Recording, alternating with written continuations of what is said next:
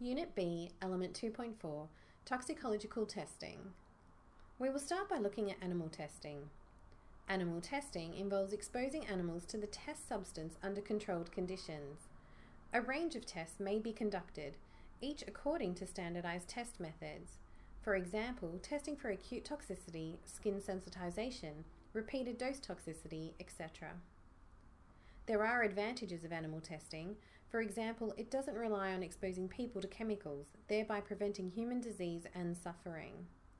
But there are also disadvantages and limitations.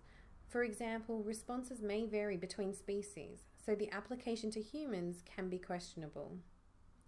It is also time consuming and expensive. Because of these disadvantages and limitations, alternatives to animal testing are used.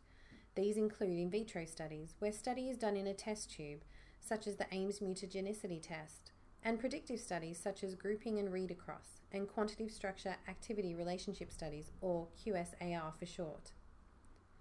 In the final section of 2.4, we will look at the dose response relationship, the relationship that exists between the dose of substances, usually measured in milligrams of the substance per kilo of body weight, and the effects that the dose elicits. This dose response relationship can be represented by the dose response curve.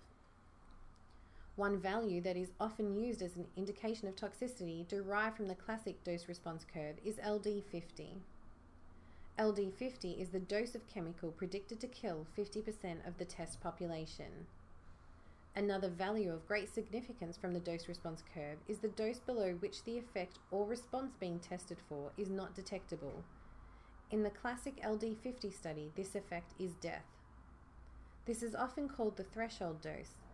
If there is no detectable ill health effects of any sort, then this threshold dose is called the No Observed Adverse Effect Level, or NOAEL.